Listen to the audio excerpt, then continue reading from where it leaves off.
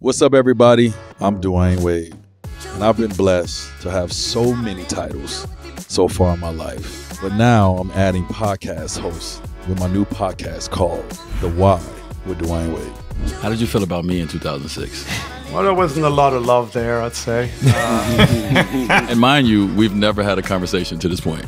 exactly. As I step into a new phase of my life after basketball, I find myself with new inspirations, new motivations, and new whys. On this show, I will have intimate conversations with some of the biggest names in sports, in fashion, in music, in entertainment. Everybody, welcome Rick Ross to the podcast. My God. My brother Melo, Lindsey Vonn, Paul Gasol, Pat Riley.